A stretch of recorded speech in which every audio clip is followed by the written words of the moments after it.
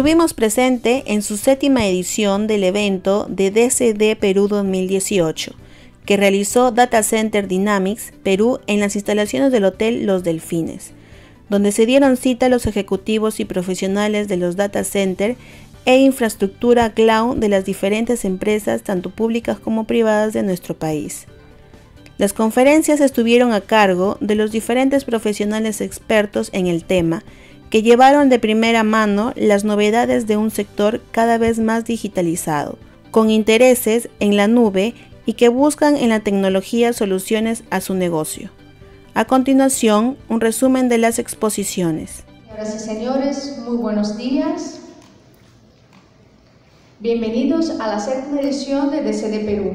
La edición de este año cuenta con novedades que buscan sobre todo incrementar el networking entre los participantes. Para fomentar el networking, estrenamos en este evento el VIP Executive Club.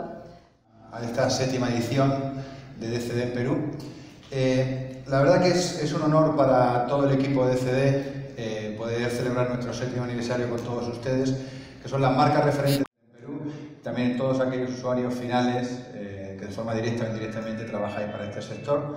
La verdad que ha sido un orgullo eh, haber formado parte de la tremenda evolución que ha tenido el sector de data center en estos siete años y habiendo puesto nuestro granito de arena con este evento que venimos haciendo, como digo, con mucho compromiso y ilusión desde hace siete años. Eh, lo que es el sector de data center a lo largo de este tiempo ha tenido muchos, muchos cambios ¿no? y ha vivido varias transformaciones. Eh, nosotros en DCD lo que hemos querido es hacer un pequeño estudio de tendencias de América Latina 2019. Eh, este estudio todavía está eh, en proceso, es decir, no hemos terminado de, evaluar todos los resultados, eh, pero quería traerle una muestra de algunas tendencias que hemos identificado, de algunos datos. para nosotros es importante hacer este tipo de estudio dentro del desarrollo de nuestros eventos, nuestra capacitación y también eh, para los contenidos de medios, pero sobre todo para el aprendizaje y eh, tema informativo del sector. Bien, el estudio eh, ha tenido una muestra de 1.314 encuestados con usuarios finales, proveedores de colocation, proveedores de, cloud, consultores y fabricantes de toda Latinoamérica, de Argentina, Chile, Colombia, Perú, Brasil, México, Centroamérica, Caribe y otros países de Sudamérica. Eh, lo primero que hemos, una de las cosas que hemos preguntado es sobre el tema de la incertidumbre. Hemos preguntado si es imposible predecir cómo será el panorama de eh, TI, de la infraestructura TI en América Latina dentro de cinco años. Y la verdad que la muestra eh, tiene algo de incertidumbre, algo de inseguridad sobre si es posible predecirlo. Un 52% eh, dice que sí es posible, pero tenemos un 48, casi un 50% que dice que es imposible predecir el panorama de TI de infraestructura en los próximos 5 a 7 años. Eh, y eh, toda esta inseguridad, digamos que las causas claves de la imprevisibilidad está creando pues cierta precaución en, el sector de data center en América Latina. las causas son sobre todo el panorama cambiante las amenazas de seguridad, el uso de IoT, inteligencia artificial, automatización en el data center. Eh, también la, legislación, eh, sobre todo eh, últimamente en temas ambientales, y el crecimiento de la demanda de los servicios, no solo por la digitalización de las empresas, sino también por el aumento de los usuarios de nuevas tecnologías. Hemos preguntado también cuáles son los principales desafíos de la industria y la muestra nos dice que sobre todo la gestión del, sobre todo son tres, la gestión del entorno de data center, cuando hablamos de gestionar entornos en data center propio, corporativo, eh, cloud y, colo, y cuando tenemos que gestionar estos tres entornos a la vez en una misma compañía. Eh, también la migración precisamente de data centers propios a terceros, ya sea la nube pública o a un colo, y también la falta de personal cualificado. Piense, cada vez tenemos más metros cuadrados, cada vez son más complejos la operación de los data centers y eh, está faltando en algunos casos personal cualificado para operarlos. Ustedes los datos que tienen en sus computadores personales o en los computadores de sus organizaciones, ¿cuándo van a utilizar esos datos? Y realmente cuando los almacenan, ¿ustedes lo utilizan esos datos? Los almacenamos, los almacenamos y a veces no sabemos para qué utilizarlos. ¿no? El tema de la infiltración se dice que es sucede cuando la cantidad de información ofrecida excede la capacidad cognitiva del lector para, presentar, para prestarle atención, procesarla y tomar decisiones. Por un lado, la infosificación es nuestro enemigo, pero por otro lado, nosotros tenemos al Big Data. ¿Qué es el Big Data? Es las grandes cantidades de datos que se caracterizan por la diversidad, la complejidad que requieren una nueva arquitectura para gestionarla, extraer valor y conocimiento conocimiento oculto para la toma de decisiones. El Big Data se caracteriza por las tres Vs principales, que son el volumen, la variedad y la velocidad.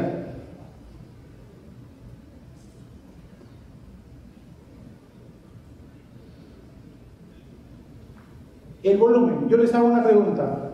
¿El tamaño importa? Referido al tema de Big Data.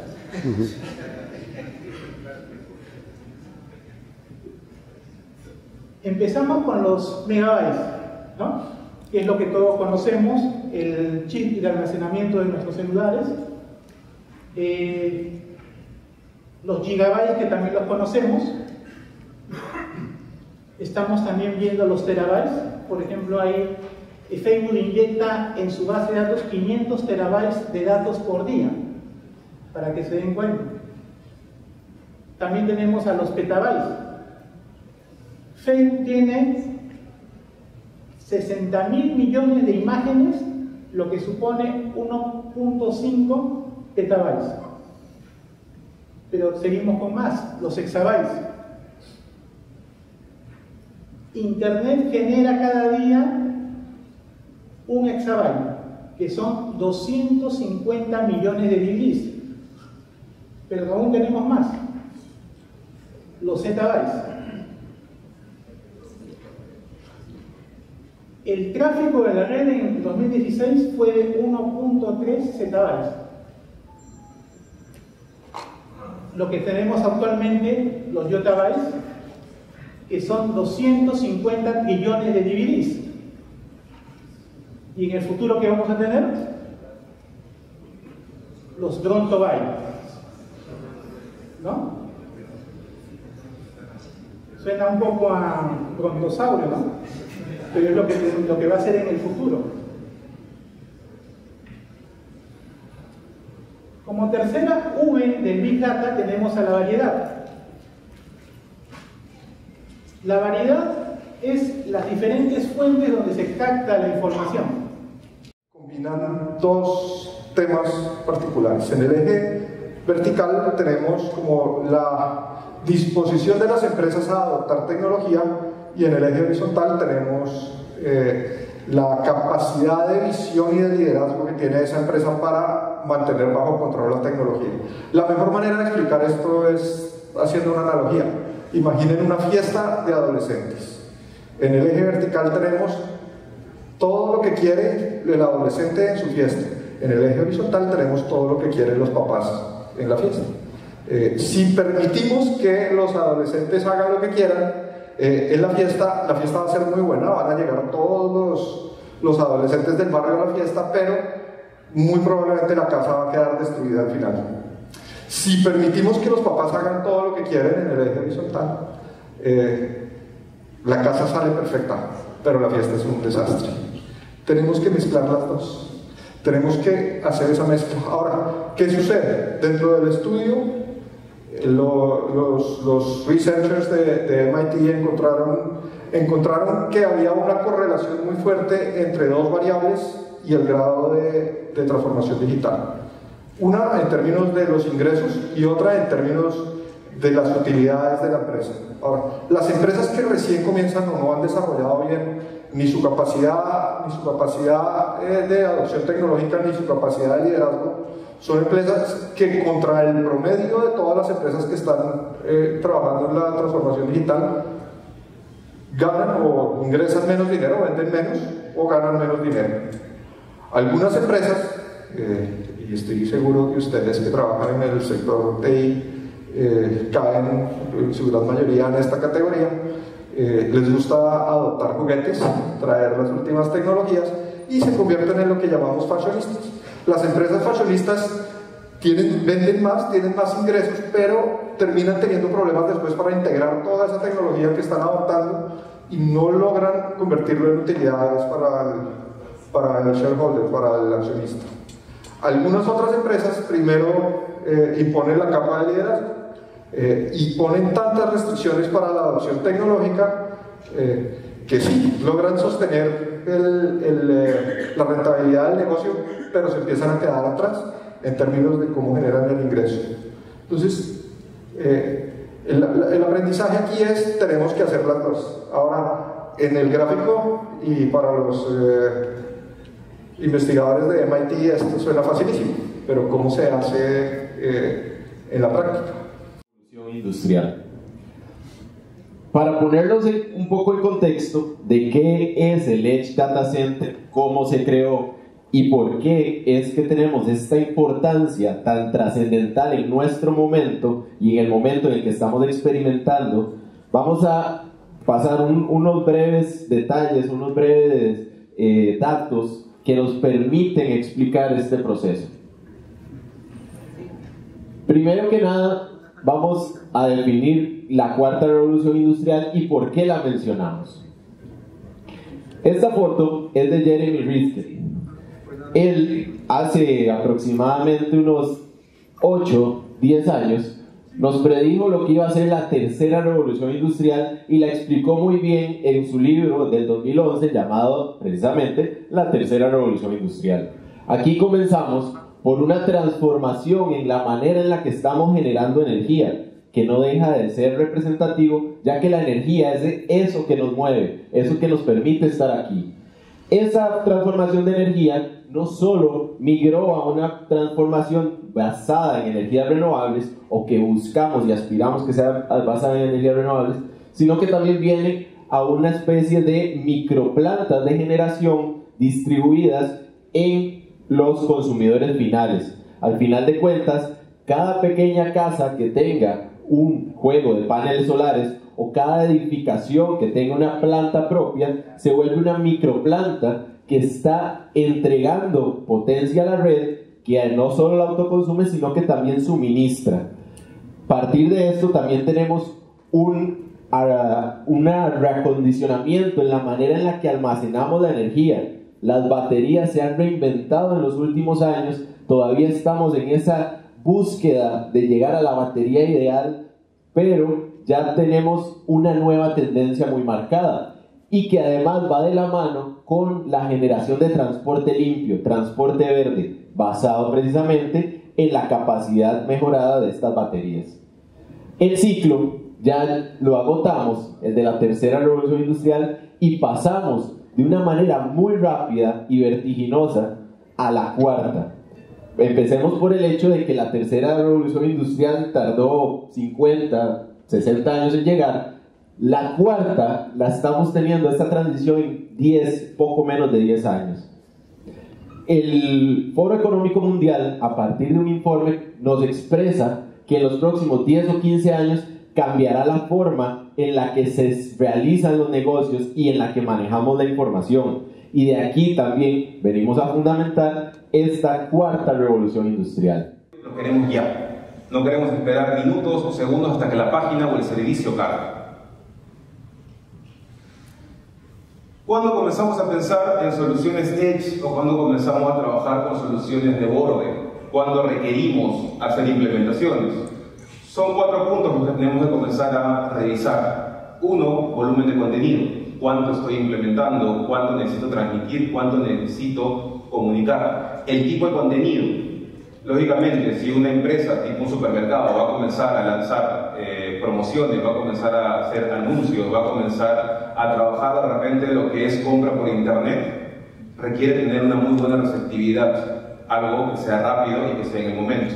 Por lo tanto, va a importar mucho que eh, tenga una comunicación con lo que sería el punto 3, lo que es la latencia. Si estamos hablando de otro tipo de contenido, sería, eh, por ejemplo, lo que es transmisión de video, volviendo a lo que es la idea de Netflix, en el cual yo requiero que en ese momento cargue la película y pueda comenzar a disfrutar. Si estoy haciendo una transacción en el banco, yo requiero que esa transacción esté segura, que sea en el momento y que el dinero sea recibido o el trámite sea en el momento para poder continuar mis quehaceres. Y lógicamente la localización. ¿Dónde ubico estos puntos? ¿Dónde los requiero? Si necesito tener backup, necesito tener algún tipo de recuperación de desastres. Entonces puedo comenzar a trasladar algunos sistemas o algunas partes de mi centro de datos y tenerlos repartidos en la ciudad. Una empresa estatal, eh, como por ejemplo podría ser un RENIEC que tiene, o un Banco de la Nación que tiene múltiples lugares alrededor del país con muchos puntos de acceso, necesita tener puntos de trámite, puntos de gestión, puntos de transferencia de datos. Por lo tanto, le es muy útil comenzar a trabajar con este tipo de aplicaciones. Bien, hemos escuchado los tres tipos de cloud, hemos escuchado también los beneficios y ventajas, y ahora nos falta ver el nivel de seguridad para cada tipo de cloud y sus recomendaciones. Para eso lo invitamos a Luis Luján. Obviamente para el tipo de, de cloud privadas, la, el nivel de seguridad tiene que ser un nivel de seguridad alto en, cuanto al tipo de información que se maneje y al tipo de cuidado de, información que se, que se vaya a procesar. Esos tienen que cumplir con ciertos niveles o ciertos estándares ya normativos de temas de la ISO 27000, de, de tema de control de seguridad, control de calidad, control de acceso, porque obviamente en una plataforma donde tengamos eh, sistemas de información importante core del negocio, por más que sean administradas por, el mismo negocio, obviamente tienen que tener ciertos niveles de, certificación o de seguridad de información. También porque hoy en día estamos normados por el tema en el tema transaccional, el tema del, PCI compliance, a nivel de información de datos, el tema de la ley de protección de datos personales, que es algo muy importante para, para los negocios, no perder foco de que esa información tenga ciertos niveles de resguardo, de controles, de accesibilidad para, para una adecuada, un adecuado procesamiento de información. En cuanto al, a las soluciones públicas, obviamente todo, todo, toda solución pública siempre tiene, que estar con un nivel de de control, de certificación antes de, puesta a, implementar, a implementarlo en, en este tipo de servicios. Tiene que tener controles de seguridad, tiene que tener obviamente servicios gestionados, el cual permita también tener un control administrado de, de un área especialista, ¿no? como prestar servicios de terceros en muchos casos, y el cual permita estar eh, a la vanguardia de, las nuevas eh, intrusiones o ataques informáticos que al final esto puede generar eh, una mala reputación a la empresa o a los negocios que, toman este tipo de servicios.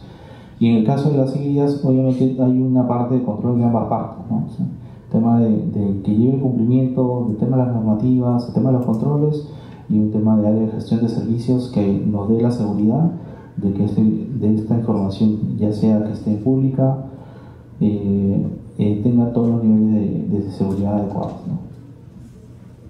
Gracias, Luis.